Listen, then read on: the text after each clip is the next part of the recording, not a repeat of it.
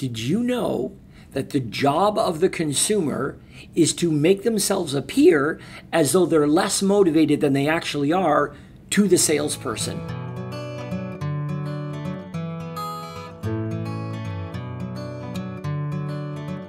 Have you ever walked into, say, a shoe store and the salesperson asked you, May I help you? And you said, No, I'm just looking, even though your intentions were absolutely to buy shoes. But for some reason, the fear of being pressured to do what we weren't ready to do by the salesperson, we just kind of told a little white lie and said, We're just looking. But of course, 20 minutes later, we're up at the counter buying our shoes. Is it possible that your prospects are doing exactly the same thing and causing you to think, man, none of my prospects are doing anything. They're all down the road, they're all waiting. None of them are ready to do anything right now. Maybe, just maybe, they're making themselves appear that way just as we do when we're the consumer.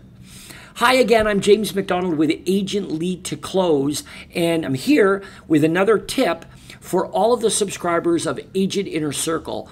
And what I want to talk about is this reality. I work with many, many realtors who suffer from this idea that all of my leads are down the road. None of them want to do anything right now.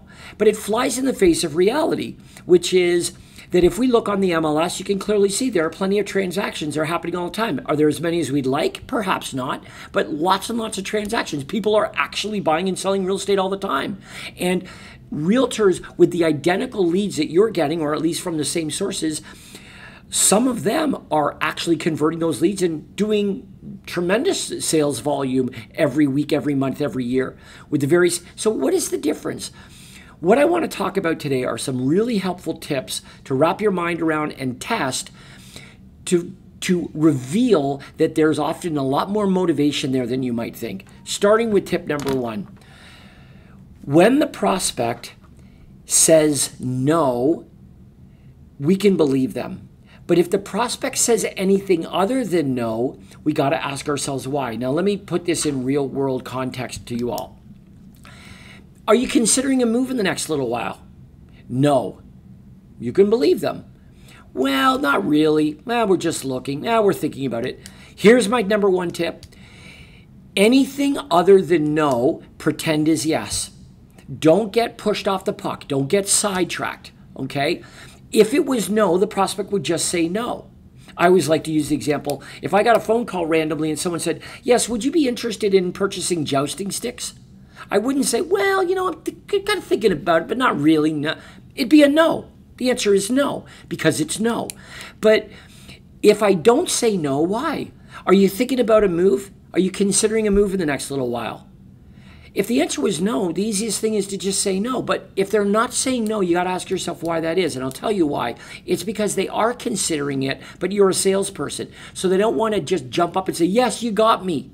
They're not going to do that. They're going to disguise it as a not really, just looking, we're thinking about it, maybe later, maybe sometime down the road. If it was a no, they would say no. That's number one. Okay, now, understand this. The prospect assumes pressure from the salesperson. So, what we want to do is we want to ask questions that don't assume that they're moving. We want to ask questions in a hypothetical manner. So, next time, instead of asking, you know, where are you where are you looking to move to? Instead, we want to word the question, if you were to make a move, where do you think you might go? Would you stay here locally in the area or might you move to a different area or perhaps even out of the state altogether? We ask it in a hypothetical way that doesn't assume that they're doing anything, thus re- releasing the pressure or at least diminishing the pressure so that the prospect doesn't feel like you're assuming that they're moving. That's when they start to push back the other way. Okay? So any question that we ask, you ask in a hypothetical, not where are you moving, but if you were to move, right? If you did decide to make a move, when do you think that might be? We want to ask our questions in this kind of hypothetical tone so we're not assuming that they're doing something that they haven't told us they are. Okay? Next, we want to have really good offers when we detect and reveal motivation from our prospect, whether they're looking to buy or sell or both, and we detect that motivation. What we want to understand is this the offer to get an appointment cannot be about buying a home or selling their home because they may not be ready to do that today. So if our offer is, when can we get together so we can go buy a home today? If that's what they're getting out of it, if that's what they're, you know, uh, they're uh, sort of um, reading into with your offer, they're going to decline it way more often than not because although they might be looking, they're not ready to buy. And if we say, when can I come over and list your home? We're not ready to list our home just yet. We're gathering information. Remember, buying and selling real estate is a process, not an event. Starts with gathering information. So, tip, next tip. When you make your offer, understand the offer for buyers is to help them look for a home, not buy one. When we get together with them, we can show them how we're going to help them buy one. But to get the appointment in the first place, our offer is about helping you look. You're already looking now. We can help you look in a better way. The seller offer is not about listing your home and selling your home, it's helping you prepare to one day sell your home. And if you can frame your offers in that way, again, why? It alleviates the pressure of the salesperson. The assumption of the consumer is you're going to pressure me into listing my home or buying a home, and I ain't ready for that. So I'll decline. If you can remove that pressure and make it clear, this appointment is nothing to do with you selling your home today or buying a home today. This is preparation, good information. You're going to get a whole lot more appointments. And then what you're going to be saying to me is this man, these leads are way better than I thought they were. That's right, because it turns out that the leads themselves have raised their hands, they've asked for information, and they've given up their anonymity to get it because there's likely some motivation there. All we're doing is we're trying to reveal what their timing and motivation actually is so that we can book an appointment when appropriate. And now, the more appointments you have, we start cooking with grease.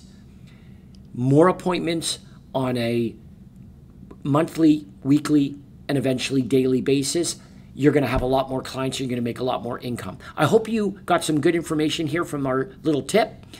Stay tuned for more. Make sure you're subscribed, of course, to Agent Inner Circle. And again, I'm James MacDonald with Agent Lead to Close. And this kind of thing that we're talking about right here, better converting your leads, is so critical to your real estate success.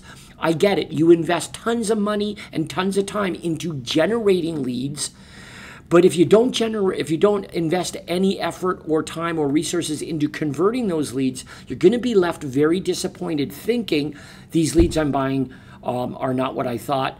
Maybe I should, you know, go on to the next shiny object. Wrong. Invest a little bit in conversion systems and conversion skills, and all of a sudden, the very leads you've been getting are gold. So, agentleadtoclose.com, check us out. It's pay as you play. We'll help you and look forward to the next tip on Agent Inner Circle. In the meantime, I'm James MacDonald. Thanks so much. Have a great day. Bye now.